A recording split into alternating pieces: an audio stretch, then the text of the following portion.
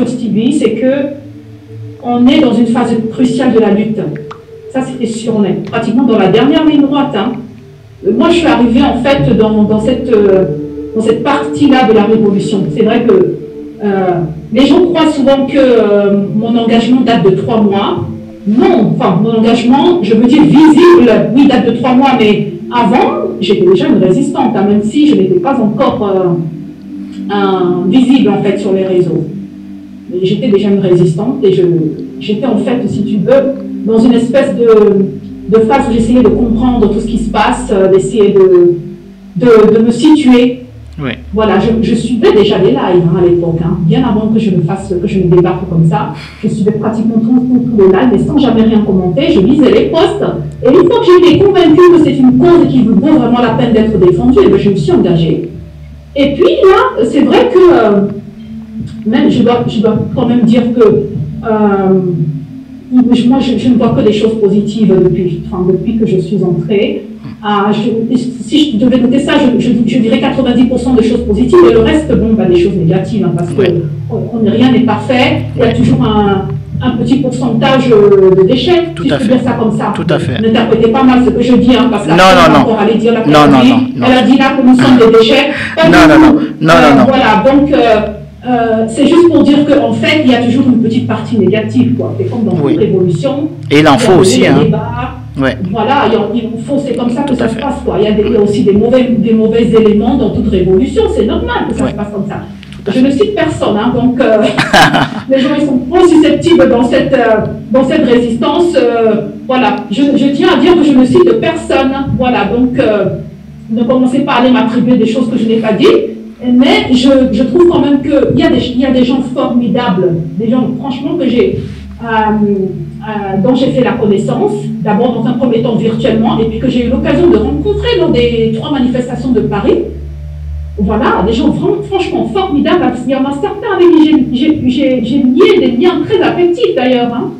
Euh, je cite le cas par exemple de Black Chinese, hein, qui est devenu mon meilleur pote. Ouais, est- il y en a plein d'autres comme ça. Il y en a plein d'autres comme ça. Et donc, il n'y a pas que des mauvais côtés. Mais ce que je déplore, moi, ce que je déplore, c'est que justement, Black Chinese, j'espère que tout le monde sait de qui je parle. Euh, en fait, Black Chinese, en fait, euh, il faut que je précise ça. Moi, je crois que la plupart aura compris. Euh, Black Chinese, en fait, c'est Mao et c'est lui qui va nous venir là dans quelques minutes. Il va arriver parce Voilà, qu'avec lui, on a parcouru un peu les couloirs de Bruxelles et on sait Ouais. comment, on sait ce qui s'est passé. Voilà. Oui. Oui, voilà, c'est ça. Et donc, euh, lui, il m'a- fait, parce qu'on s'est parlé après, moi, je n'étais pas à la manifestation de Bruxelles, mais on s'est parlé, il m'a fait un, un, un débrief de, de, de comment s'était passé euh, la manifestation. C'est vrai que pour moi, globalement, elle est réussie, hein, parce qu'il y a qu'à voir les belles images et tout ça, mais c'est l'envers du décor, en fait, qu'il voulait me, qu'il voulait me raconter. Et, euh, et donc, il me disait que euh, ils étaient parmi les premiers arrivés sur place, il pleuvait, et que c'est donc euh, les, premiers combattants hein, qui étaient là, qui ont un peu été surpris d'apprendre par euh, bah, les autorités euh, policières qui étaient là que la manifestation était annulée, à la grande surprise de, ceux qui... Voilà, donc ça, ça m'a un peu, un peu étonné, et quand même, annulé pourquoi, par qui S'agissait-il d'un acte de sabotage Et puis moi, j'ai vu, enfin, à partir des photos et, euh, et des vidéos que ceux qui étaient là transmettaient, parce que bon, j'étais certes pas là physiquement, mais j'étais connectée à pratiquement, des, des- des- presque pratiquement tous les lives hein. Mhm. Euh, des combattants qui étaient sur place. euh, voilà, je commentais, on- enfin, je suivais tout ça en direct live, quoi. Ouais. Et donc, moi, ce, que, ce qui m'a frappé, c'est que vraiment, il y avait deux groupes, comme s'il y avait deux manifestations ce jour-là.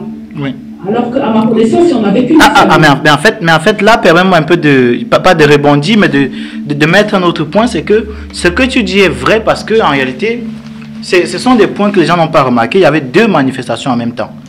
Il y avait deux manifestations. Euh, la première manifestation, en fait, c'est celle qui était rendue publique. Mais ce que le public n'a pas reçu, en réalité, comme information, c'est que il y avait à côté de ça, juste à poser, une autre manifestation. Et je crois que c'est ce, dont va nous parler euh, Mao, parce que Mao. de la même façon. Oui. Donc, euh, la manifestation, pour, pour en revenir à cela, avant que l'enfant ne pleure, pour citer, euh, pour citer l'autre au Cameroun, en fait, ce qu'il y avait de, de désagréable, c'est qu'il y avait deux manifestations distinctes qui avaient été enregistrées au même jour.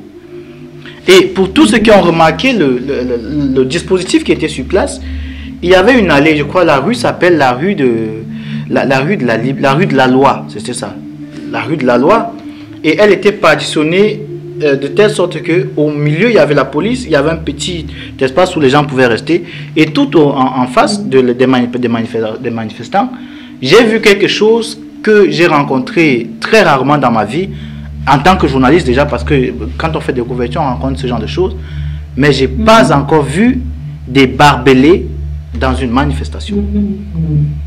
Il y avait des barbelés. Et des barbelés en métal. Ça, c'était, ça m'a un peu frustré de voir ça. Et j'ai compris qu'il était nécessaire d'éviter qu'il y ait un rapport. Merci encore pour le message. J'ai remarqué qu'il y avait, il y avait vraiment une volonté nécessaire d'empêcher un contact entre deux groupes. Bonsoir à toi, Kamola Panthère, bienvenue. Et, et c'est d'où je me suis posé la question de savoir pourquoi est-ce que la police euh, de Bruxelles se donnerait autant de mal pour empêcher qu'on traverse cette barrière, puisque derrière, en fait, il n'y avait rien d'important. Le, l'espace, euh, le, Parlement européen, en fait, était derrière nous. Raison pour laquelle je m'interrogeais encore de savoir. Et quelques, je crois, il était environ 15h57 j'ai les images euh, vidéo que je laisserai sur ma page pour que tout le monde puisse consulter. Il y a un drone, un petit drone que vous avez vu, c'est un drone de marque Mavic Pro qu'ils ont fait décoller de là derrière pour voir en même temps pas seulement nos mouvements, mais les mouvements d'un autre groupe parce que j'ai suivi les mouvements du drone et j'ai vu que le drone s'est déplacé. Mais pas en rotation, mais en translation. Ça veut donc dire que de l'autre côté de la rue, il y avait un autre groupe de Camerounais qui manifestait. Mais sauf que ça, nous ne savions pas. Ça, c'est les éléments que moi, j'ai pu avoir. Et Mao, de son côté, euh, il a fait un compte rendu qui était on ne peut pas mieux faire parce que c'était tellement étayé que je préfère que lui-même entre parce que je vois qu'il y en a qui entrent là, ça veut dire que c'est accessible déjà, euh, qu'il le dise lui-même. Mais ce que je peux dire déjà d'avant, c'est que la police même, pas la police officielle, il y a la police officieuse, qui, ce qu'on appelle les membres, de les services secrets, se sont rapprochés de certaines personnes auxquelles ils ont dit qu'il y avait deux groupes de Camerounais qui avaient manifesté, et parmi lesquels un groupe qui venait de Paris. Et en tant qu'ancien quand même dans cette révolution, j'ose croire que j'ai une idée de ces personnes-là. Mais comme on reste dans la tangente, dans la logique de, du ne pas attaquer pour ne pas ne rien dire pour nuit, mais aussi il ne faut pas forcément taire pour plaire. Mais euh, on a compris en réalité de quoi il était question. Donc c'est ça qui, euh, c'est un peu l'élément que je voulais apporter pour que tu, pour que tu confirmes en fait qu'en réalité, oui, tu ne t'es pas trompé, il y avait deux manifestations distinctes, à deux endroits différents. Mais le, je, te laisse continuer en fait, vas-y, vas-y. Oui, c'est très étonnant. Oui. Euh, parce que moi, je sais qu'il y avait une seule manifestation organisée par, le MRC et ses partenaires. Oui. Voilà, c'est la manifestation euh, euh, sur laquelle tout le monde a communiqué en réalité. Hein. Et d'ailleurs, j'ai bien vu les, les, représentants euh, NRC qui étaient là, je les ai vus. Et j'ai vu les combattants qui étaient là. Mais en fait, oui, ce que tu dis je, semble se confirmer, puisque maintenant, en revenant un petit peu en arrière, oui, en, effet, j'ai l'impression qu'il y avait une autre manifestation qui était prévue, mais qui n'a pas été rendue publique. Ce qui fait qu'on ne savait pas qu'il y avait euh, un autre groupe qui venait. Et d'ailleurs, en, y réfléchissant un peu, euh, ça me. Oui, ça me, ça m'inquiète un peu ce genre de choses. Parce que euh, je peux dire par exemple que la veille, moi j'ai reçu plein de messages inbox hein, de personnes qui ne sont pas très sympathiques avec moi et qui m'avaient, qui avaient promis de, me, de m'enlever mon voile ce jour-là. Donc ces personnes, elles sont connues, hein, euh, voilà, donc j'ai pas trop envie de citer leur nom ici parce que franchement, euh, ce serait de leur faire de la publicité inutile et puis euh, j'ai pas leur temps, voilà, aussi simple que ça. Moi je suis focus sur, sur mon combat et toutes ces petites menaces à deux balles ne me font absolument pas peur. Donc elles pourront continuer si elles veulent, ça c'est leur problème. Mais en général, tu sais, ce genre d'argument-là, c'est l'argument de ceux qui n'en ont plus, justement. Tout à fait. Bien, on le sait très bien que dans, notre, dans cette révolution, il y a un groupe de motasés, on le sait. Voilà, donc euh, ça n'est pas euh, caché. Oui. Tout le monde le sait. Pourquoi? Oui, de toute façon, moi, ce que je, si j'avais quelque chose à dire pour résumer tout, c'est que globalement, la manifestation s'est bien passée. En tout cas, pour ce qui concerne la manifestation organisée par le NRC et ses partenaires, pour moi, c'était un succès. C'est vrai que euh, cette affaire de manifestation annulée, là, c'est peut-être un sabotage. Hein. Ça existe partout, de toute façon, ce genre de choses. Mais heureusement que les combattants qui étaient là étaient suffisamment euh, présents. Tout à fait. Si on peut dire ça, euh, ce, qui, ce qui semblait perdu au, départ. Oui. et qu'ils ont été suffisamment courageux euh, y compris bah, les organisateurs qui sont venus par la suite, pour faire de cet événement bah, un succès éclatant. Parce que quand je vois les photos, moi, c'était une belle manifestation. Et c'est pour moi l'occasion de dire. Euh, c'est déjà quand même quelques manifestations que, le NRC organise avec ses partenaires, bah, qui ont des succès. Qu'à voir les trois manifestations de Paris, qui étaient des succès éclatants, et pourtant, Dieu sait qu'il y a eu des sabotages, et tout le monde n'est pas venu. Hein certains espéraient même peut-être que, euh, que, cet événement ne soit pas, que ces événements-là euh, soient des, des, échecs retentissants, mais rien n'a été, ce qui prouve que plus que jamais le MRC doit être au cœur euh, de l'organisation des manifestations à Paris et, ailleurs d'ailleurs. Et j'insiste là-dessus. Je sais que ce, le fait de le dire depuis hier défraie la chronique sur Facebook tout à fait. Euh, de la part d'un certain groupe. Et je ne comprends pas pourquoi, en fait. Je, n'arrive pas à comprendre pourquoi. Le NRC, c'est le parti de Maurice oui, euh, euh, là, oui, si tu me permets, si, tu, si tu, me permets une seconde, je, j'introduis les deux, les deux personnes qui sont entrées après, je, pour qu'ils ne se sentent pas lésés. Alors, bonsoir à toi, Nino. Bienvenue. Oui, bonsoir Stevie, bonsoir Kamala Panthère, bonsoir la ravissante, charmante Aïssa Toubouba. David, désormais ma princesse, ma reine. Oh. Je vais d'abord commencer avant de conclure. Ce sera très vite, très bref, 30 secondes. Je vais d'abord revenir à ce que tu as dit. Trois mois de manifestations visibles. Ce n'est pas là le projet, ce n'est pas là l'objectif, ce n'est pas quand est-ce que tu es arrivé qui fait la personne nouvelle, non. C'est l'idéologie que tu viens avec, c'est le souple nouveau que tu viens avec. Le président Maurice Kamto, il n'est pas venu avant, avant euh, euh, euh, John Trump. C'était pour, véritablement pour dire Aïssatou Bouba, sans toi dans ta maison. Avec un souple nouveau, nous avons besoin de ça. Parce que le MSC est venu pour souffler un souple nouveau, donner un élan positif à la résistance camerounaise qui a somnolé bien après le départ de John Condi. Voilà, c'est pour dire, ce n'est pas celui qui arrive le premier qui forcera, qui forcément marquera le but qui gagnera le match Alors toi, comme moi la panthère, l'excellent, le celui-là avec qui je me bagarre, Martin Moutisso, encore aujourd'hui, en train de le bousculer comme la panthère, bouge un peu plus parce que le président Maurice Kamtou a besoin de ton souffle, de tout ce que tu as dans ton ventre. Sans toi, Emile, sois la bienvenue dans ce direct. À vous, si tu Après cette rencontre historique avec le Premier ministre belge, cette charmante dame, Anna Wiemens. Donc, euh, je te laisse parler, Stevie, je te laisse développer. Je laisse surtout notre invité, Aïssato Dani, qui est là. Je pense que c'est elle qui a le. Oh, c'est gentil. Bonsoir, ma chère Aïssato. Comme je te dis, tu es la princesse. Tu es la princesse de cette, tu es la princesse de cette révolution. Dans cette révolution, j'ai dit, on est unis Mandela en la personne de Mme Karine Gambet. Oh, c'est gentil. Tu as un cœur pur. Et quand je te regarde, ça me rappelle les amis passés en Gaoundéré avec les enfants d'Ala Diabo. Donc je me dis vraiment, voici l'image du Cameroun comme en train de bâtir. Ah, Donc je vous laisse la parole. Merci beaucoup. Bonsoir à tous ceux qui sont là. Je t'en prie, c'est le Cameroun qui gagne. bonsoir. à toi. Bonsoir, tu vous m'écoutez, vous m'écoutez la famille? 5 sur 5. bien Black Chinese.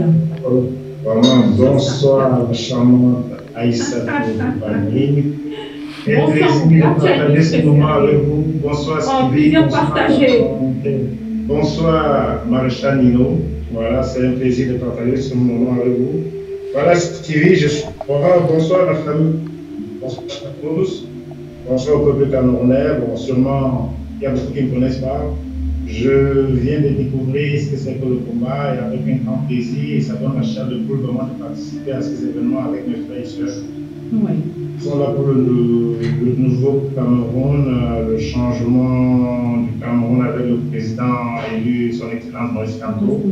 Voilà, c'est vraiment un plaisir de partager ces moments avec vous et je suis ravi. Voilà, Stevie, je suis à toi, je t'écoute, euh, tes questions, après on pourrait échanger là-dessus. Voilà.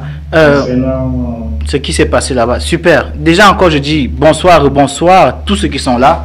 Euh, il y a, euh, comme tu, tout le monde est là, on peut maintenant commencer, on peut entrer dans le, le vif du sujet. Alors, on a avant que tu n'arrives et élaborer, on a essayé de toucher ça et là pour voir ce qui s'est. Voilà, donc ça veut dire Super, c'est ravissant de le savoir. Donc maintenant, ce que je veux dire, c'est que euh, avant qu'on entre même clairement dans le fond de la chose, j'aimerais déjà rappeler, parce que j'ai personnellement reçu beaucoup de menaces, et je vous rassure que je ne suis pas seul, parce qu'il y a, y a des gens là qui m'aident à travailler. Il y a tout un logiciel, il y a des signalements qui, sont, qui se multiplient. Donc déjà, je tiens à m'excuser d'avance si c'est qu'il y a des petites perturbations sur la stabilité de la chaîne. Vous savez, pour ceux qui sont là régulièrement, ma chaîne n'est pas, pas attaquée de cette façon.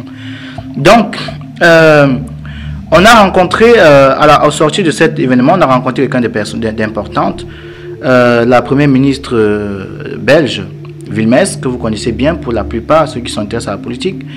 Euh, je dois avouer, même si, comme ne vous l'a pas dit, hein, moi je me dois de le dire, euh, c'était un hasard organisé. Mais comme je ne crois pas au hasard, je suis obligé de vous dire qu'on a prévu de la rencontrer. Donc, on était au bon endroit, au bon moment, euh, et on a fait ce qu'il fallait. Et après réflexion avec l'équipe stratégique, le stratège particulier de Camois, on a compris qu'il fallait, il valait mieux garder certains éléments techniques pour nous. Mais l'information capitale à retenir, c'est que on s'est retrouvé là. On a eu un échange très important avec elle. Il y a des vidéos, comme je vous l'ai dit, vous avez vu la vidéo du drone dont je vous parlais tout à l'heure, je vous l'ai fait passer là en off. Euh, on a eu un entretien avec elle, on lui a soumis exactement le problème du Cameroun et on a été agréablement surpris parce qu'elle était au courant de ce qui se passait. Elle a réagi pratiquement à la Macron, et quand moi je crois, si je ne me trompe pas, elle a réagi à la Macron. Elle, je crois que c'est devenu une théorie européenne, donc elle a dit qu'elle était au courant de tout. D'ailleurs, qu'elle avait suivi nos mouvements à la veille, elle avait suivi ce que nous avions fait. Elle a vu les drapeaux, elle nous a demandé, c'est vous qui étiez à la. On a dit oui, c'était nous. Elle a donc demandé à ce que nous entrions en contact avec quelqu'un de son équipe, dont nous avons bien entendu pris le contact. Nous nous chargerons euh, à la fois avec l'équipe euh, stratégique de la Panthère et celle qui était sur le terrain de voir comment nous, mettons nous mettrons une lettre euh, à la hauteur de nos attentes, les attentes des combattants, des révolutionnaires, à même de penser à une révolution en intégrant le professeur Maurice Kamto. Il faut que j'insiste là-dessus. L'équipe avec laquelle nous travaillons, que nous constituons, qui n'est pas une équipe dans laquelle il faut faire allégeance. La seule responsabilité qu'on vous demande, c'est d'être camerounais, avoir une carte camerounaise physique ou dans le cœur. C'est tout ce que nous vous demandons. Maintenant, comprendre que le changement du Cameroun s'est fait avec la seule personne qui a implémenté le changement au Cameroun, le professeur Maurice Kamto. Donc, nous mettrons dans les jours qui suivent à la disposition de ceux-là qui vont bien vouloir travailler avec nous euh, un email, une correspondance qui va être celle-là qui sera renvoyée du côté de la Belgique et il y aura un travail là-dessus. Je ne peux malheureusement pas en dire plus parce qu'il s'agit là d'un travail stratégique, vous imaginez bien. Mais on a mis suffisamment d'éléments en ligne pour que vous compreniez que voilà, on n'est pas dans le vociférage comme on dit parfois. Donc, euh, c'est ça que je voulais dire. Voilà.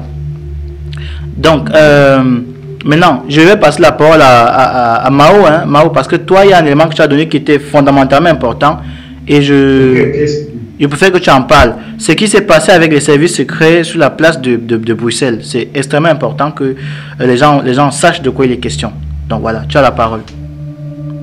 Ok, ok Stevie, euh, voilà, donc euh, je ne sais pas s'il faut que je déroule dès l'arrivée les points de détail euh, comment ça s'est déroulé. Non, en fait, je crois que le plus important serait, le plus important serait qu'on comprenne qu'en fait, il y avait deux groupes distincts du Cameroun au même endroit, pratiquement. Oui.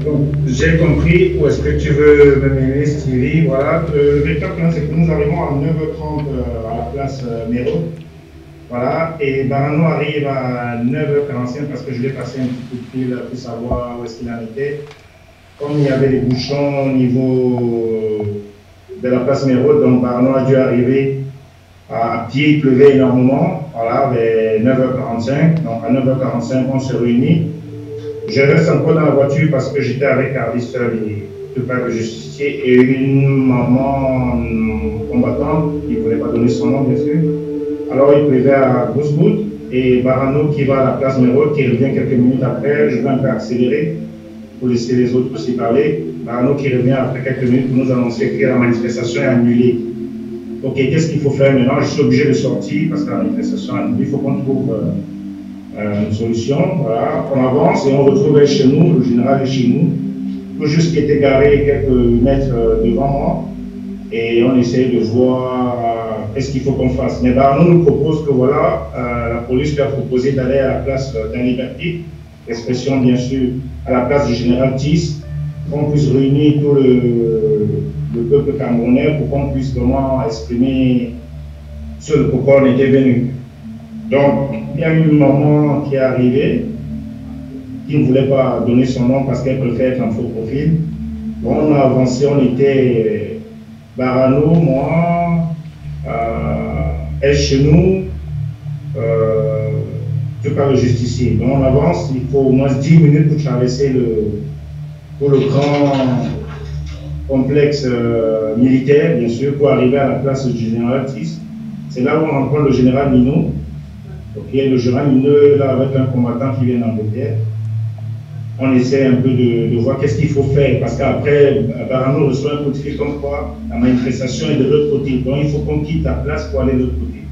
Là, on essaie d'organiser une petite réunion avec la capitaine Raissa aussi qui était là. Voilà, on essaie de voir qu'est-ce qu'il faut faire. Bon voilà, Barano décide qu'on puisse lancer un live avec chez nous qui lance automatiquement un live pour annoncer au peuple que c'est devant la place du général Tis qu'il faut que le peuple puisse se réunir pour qu'on puisse euh, se mobiliser pour aller devant le Parlement européen. Donc c'est alors que quelques minutes après, on trouve la solution. Voilà, il faut que la dame aille du côté de la place numéro, attendre tout le peuple pour pouvoir les regrouper et ramener à la place du général 10, qui faisait 10 minutes après, il fallait traverser tout le grand parc. Hum. C'est alors que deux policiers arrivent. Quand les deux policiers arrivent, euh, le, téléphone de Barano sonne qu'il faut qu'on se déplace. Donc nous sommes perturbés parce que depuis le matin, on appelle, euh, euh, comment il s'appelle? Le tonton de, Bruxelles, là, j'ai noté son nom, Marcel Changué. Voilà, ah oui, oui. oui, oui. Euh, n'arrive pas à le joindre depuis le matin, voilà, et c'est stressant pour lui, voilà, c'est stressant pour lui, il est l'organisateur, et on n'arrive pas à le joindre. Mais est-ce qu'il était, euh, mais est-ce qu'il, est-ce qu'il était quand même sur le terrain? Il était quand même sur le chantier, le champ de, de la manifestation? Il arrive, il arrive, je vais y arriver, je vais y arriver. Ah, ok, ok, ok, je te laisse, je te laisse le faire. Je déroule un peu le, le stress qu'on a eu parce qu'on était vraiment, on ne savait pas si ça, ça allait se passer. Ok, ok, ça marche. Donc, il est à peu près, disons que 10 heures, voilà, quand les deux flics arrivent, ils nous font comprendre comme quoi qui est l'organisateur de, de, la manif, voilà, Marcel qui n'est pas là obligatoirement, nous sommes des caméras, il faut qu'on compose. Donc on propose elle chez nous, comme quoi il est représentant de, de la manif, bien sûr. Uh-huh. Et Niad Barano, en proposant chez nous, il fallait aussi de, désengager Niad Barano de certaines tâches, il fallait qu'il s'occupe d'autres choses. Voilà, donc elle chez nous prend l'engagement devant le, le, policier des services secrets qui arrive aussi en même temps, parce qu'on a passé un coup de fil pour savoir où il était. Parce que quand il arrive, il nous fait comprendre quoi, voilà, moi, donc, la, manif qui était prévue devant le métro Méron est annulée. Par contre, je me suis battu pour que vous puissiez avoir une heure devant le Parlement européen. Votre voix va porter. Je comprends tout ce que vous faites pour votre pays, mais il faut qu'on fasse un deal. Vous allez manifester de 13h à 14h parce qu'après 14 heures, il y aura un autre groupe qui passera, euh, voilà, des, des, opposants aussi de certains pays qui vont passer pour exprimer aussi leurs sentiments comme nous, quoi, bien sûr. Ah, tout à fait. le droit comme nous aussi, on peut avoir le droit, bien sûr, pour le changement du pays. Donc voilà, et il nous dit, le, monsieur, il s'appelle Damien, hein, parce qu'on a pris son numéro de téléphone avec Nino. Parce que Nino a échangé le numéro de téléphone avec ce monsieur, il s'appelle Damien, il nous a donné son prénom. C'est alors qu'il nous dit, bon, Denis, voilà, sachez qu'il y a les mecs de la base qui vont arriver.